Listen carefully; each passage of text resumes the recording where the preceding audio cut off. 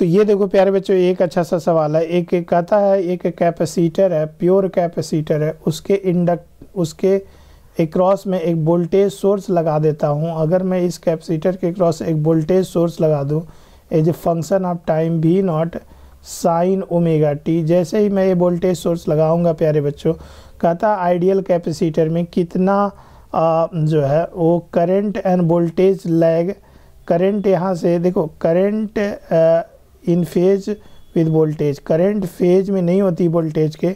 Current 180 degree lag नहीं करती है यहाँ से लीड नहीं करती है.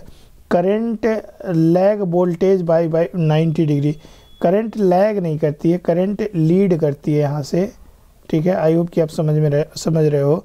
तो यहाँ से तुम देखोगे करंट लीड करती है. अगर फेजर डायग्राम बनाओगे तो इधर जो है वोल्टेज अक्रॉस द कैपेसिटर आएगा और इधर यहाँ से आ, आ, जो है करंट यहाँ से यहाँ से करंट आएगा, ठीक है? तो करंट पाई बाई टू यहाँ से लीड करती है। आई होप कि आपको पता होगा ये, ठीक है? और यहाँ से इन दोनों करंट और वोल्टेज में जो अगर तुम देखोगे फ़ेज़ का डिफरेंस है डेल्टा फाई यहाँ से, वो पाई बाई टू है, ठीक है ना? पाई बाई टू है।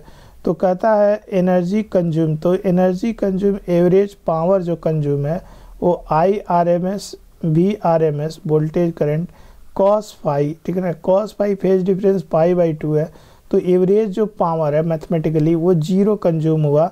दैट इज़ यहाँ से तुम देखोगे प्यारे बच्चों तो डी ऑप्शन सही हो गया, ठीक है ना?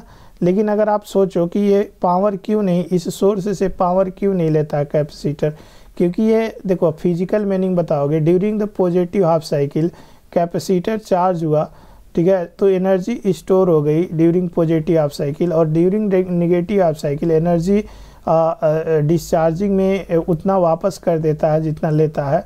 तो कुल मिला के it does not consume energy from the source that is D option सही है, ठीक है ना? Thank you